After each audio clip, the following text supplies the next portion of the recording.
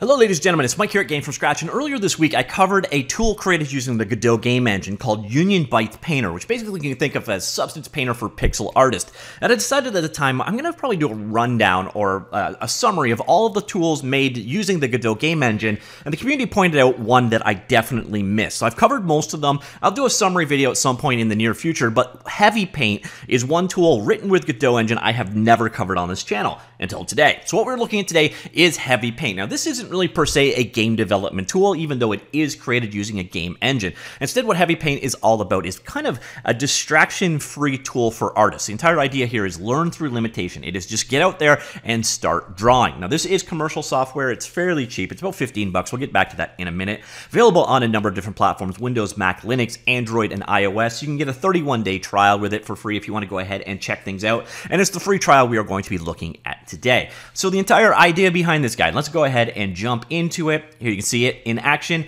It is a minimalist tool set for basically drawing and painting. So for example, here you can see I have O for the oil brush selected, and I can basically just come in here and start drawing. Kind of got a very natural media painterly flow of things. You'll see layers interact with each other. So you can see here we got colors uh, kind of transposing on each other. I can come here and start using a blur tool, start rubbing things together, get kind of nice looking painting effects. The idea is basically just to come in here and start working. In fact, if you want to do it really focused, you can come in here. See here, we got a timer that we've got set up. So if you want to do, okay, I'm to do a five minute speed paint. We can go ahead, start the timer down here. I think I missed the button. And it'll basically just start counting down. So if you want to just do a five minute sketch, you can limit it on the timer over there. You have a number of tools available here across the top. As you can see, we had the oil paint brush selected right here.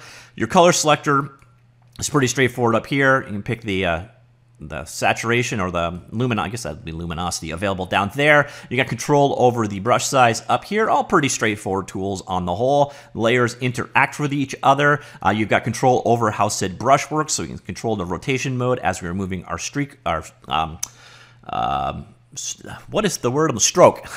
Look, I was having a stroke there for a second.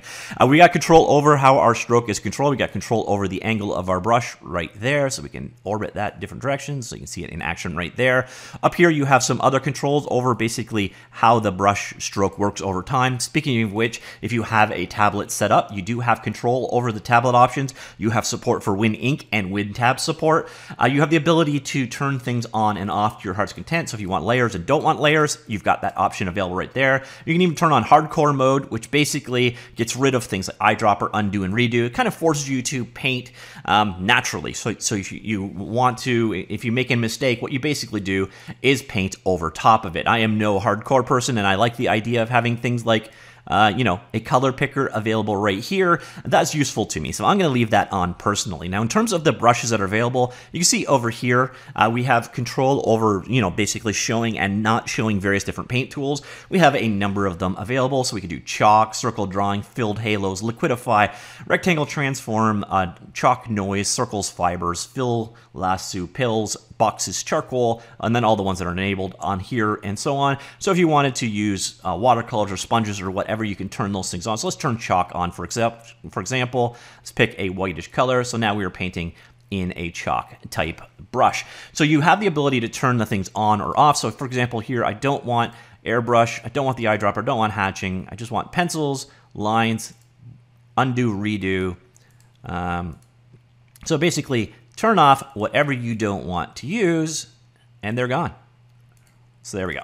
So now you have a minimal set available up here. Now, one piece of feedback I would really like, especially when you're first learning heavy paint, is I want mouse overs. I really want tooltips. So right now, we basically have to click the tool to figure out what it actually does. So here's your line gradient, for example. In order to figure that out, you basically have to click it to figure out what F is. Same thing here, your blur, you gotta click it to find out that that is in fact a blur. Uh, but it, it is a very distraction-free approach. You've got a lot of configuration controls over what you're working with again. Uh, even set the UI. So you notice we kind of got this dark off purple. Uh, if you're one of those people that wants your eyes to bleed, uh, you have that option. So you can come here, we can make it a pure white background. And then our UI is going to be very, very white. If you're one of those dark mode people, uh, you can go as dark as you wish as well. You've also got control over your canvas, your canvas size. Uh, you have the option to, to show the hotkeys that are available or hide that if you wish. In terms of zoom, you got really nice zoom controls, very nice and smooth and work. Uh, middle mouse button pans around, or sorry, no, middle mouse button seems to zoom. Hmm right mouse button pans. Okay, uh, so you've got control over uh, zoom in and out, very uh, smooth and clean. So if you're coming in here, you're basically just doing, um, you know, an art sketchbook. That is what this is all about. It's all about focused art production uh, for the most part. So you see here, uh, we go back out, let's zoom back out. You'll see over here, we've got a couple of other options available. Uh, you can have it auto save as you go. Um, there are some tutorials available as well. You can control the canvas color. So if we'd rather have that to be a lighter canvas instead of this dark gray, uh, you can do so. And uh, yeah, so you've got nice control over things that way. Additionally, if I shut this guy down over here, we have the option for our sketchbook. Uh, so our sketchbook can have a number of different uh, drawings across the board. Uh, when you're in a drawing, you also have the ability. All right, so let's let's go in, start working on that guy. I think I hit it though, so I think I found a little bit of a glitch here. So if you set the UI color to a little bit too dark, you may lose something here. So I should have in my oh I may have turned this off by accident. You, you also have ability to do multiple um, drawings within each particular layer of the art book. Uh, so one of those things to be aware of. So you can have multiple art books, but you can also have multiple drawings in each. I don't know what I've done. Probably one of those things when I turned various different maybe that's layers yeah so layers so you've got the layer controls available over here um, and you've got the option of ultimately turning those off as well. So uh, you've got, again, your controls are done via um, this art book layout. So all of your stuff is organized into various different books. Those books in turns can have multiple layers. So I can draw on top of things if I wish. So let's go back to the, oops, right here. We're in a mode. So I come in here, I can start, oh, my timer ended. Okay, that's fine. Um, so then I can come in here and start drawing literally. Let's do another layer here in and you can draw layers on top of other things and have it interact accordingly. And then you've got layer control available here as well. Just click it, you can merge it down, duplicate it, and so on and so forth. So if you want layer support, it is there, kind of an advanced feature. When it started, it had no layer support at all. But again, everything you see is configurable period. And I think when you switch turn layers off, uh, it ultimately does a merge. So the entire idea behind this is kind of like a focused painterly art style. You go in there, you do your sketching, you do your drawing, whatever. It gives you just enough tools uh, to get what you want done. You've got complete customizability of what you're working with here. In non-hardcore mode, you also have full undo and redo support, which is definitely a nice thing. And that's basically heavy paint in a nutshell. So if you're looking for kind of a focus on art style tool, Heavy Paint could be a good fix for you or a good fit for you. Again, available on a number of different platforms. If you want to pick it up, um, again, there's a 31 day trial. The, the full version is available. This is um, Gumroad, by the way. Pro version can be bought for $19.99. Student version is available for $15.99 um, and the license key for Mac, Windows, and Linux. So uh, once you've bought it, by the way, it's it's activated directly inside of Heavy Paint. So unlock Pro, and you put your code in like so. Uh, so definitely a nice program in that regard. It's available again on uh, Gumroad. Um, it's also available on the Apple App Store for iOS, for I, um, iPad and iPhone. Uh, basically layouts available for both of those. So if you'd rather draw on those devices, available there. It is also available on um, Android applications, although here there does seem to be a little bit more of reports on for technical problems there as opposed to um, more, more so on the program itself.